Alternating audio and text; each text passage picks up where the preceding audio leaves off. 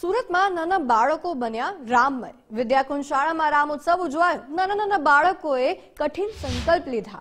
પાંચ દિવસ પગરખાં વગર શાળાએ બાળકો આવશે. અન્નનો બગાડ નહીં કરે, અન્નપૂર્ણાનું સન્માન કરશે. પાંચ દિવસ બાળકો મોબાઈલનો ઉપયોગ પણ નહીં કરે.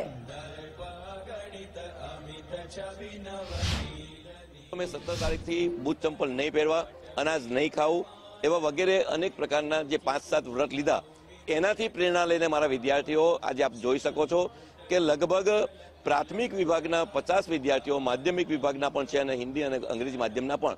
આજે તો લગભગ સો થી સવા સોની સંખ્યા થઈ છે કે જેમણે ચંપલ નહીં પહેરે એવું વ્રત લીધું, વગર ચંપલે એ ખુલ્લા પગે શાળામાં આવ્યા છે. સાથે સાથે અન્નનો બગાડ નહીં કરીએ એવો એમણે નિર્ણય લીધો છે અને ડીશમાં જે કઈ વસ્તુ આવે, મમ્મી, પપ્પા આપે, એ અમે ખાઈ લઈશું. એક દાણો એઠો નહીં છોડીએ, એવું વ્રત લીધું છે. સાથે સાથે મોબાઈલને નહીં અડ્યા પાંચ દિવસ. અને મોબાઈલ પણ હવે એનો દુરુપયોગ નહીં કરીએ, એવો સંકલ્પ લીધો છે. પાંચ દિવસ માટે પ્લાન લીધો છે, ચપ્પલ ન ફેરીએ અને ભોજનમાં આવશે તે ખાવીશ. અને પાંચ દિવસ મોબાઈલ ન જોવાનું. અને અમારા સોસાયટી ઘર ઘરના ત્યાં મંદિર આવે ત્યાં સાફ સફાઈ કરવાની. અમે સંકલ્પ લીધું છે કે અમે પાંચ દિવસ બૂટ, ચંપલ, મોજા વગર અમે રહેશું. પછી અન્ન, અન્ન- અન્નનો બગાડ ન કરીશું. પછી મોબાઈલ ન અડકીશું.